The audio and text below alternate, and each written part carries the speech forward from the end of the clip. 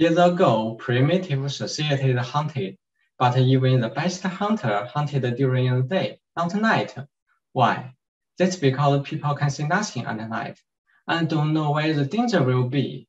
However, this is not a problem now because we have invented radar. Radar was invented to detect the airplane during the World War II. In general, the radar antenna sends out a signal which is reflected by the target and returned to the receiver side.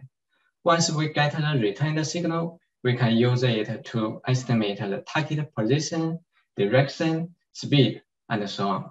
So if a hunter has one radar, he can easily know where the bear is. Then we may have a question. If the hunter has more radar antennas, will he catch more bears? The answer is yes.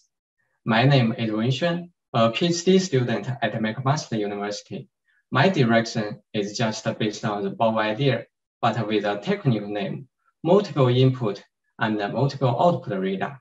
We usually call it a MIMO radar simply. MIMO, M-I-M-O, stands for multiple input and multiple output. In general, MIMO radar uses multiple antennas to transmit signals and multiple antennas to receive echoes so that it is possible to get a better performance.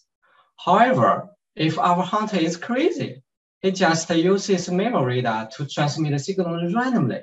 Will he get the information of the bear? Of course not.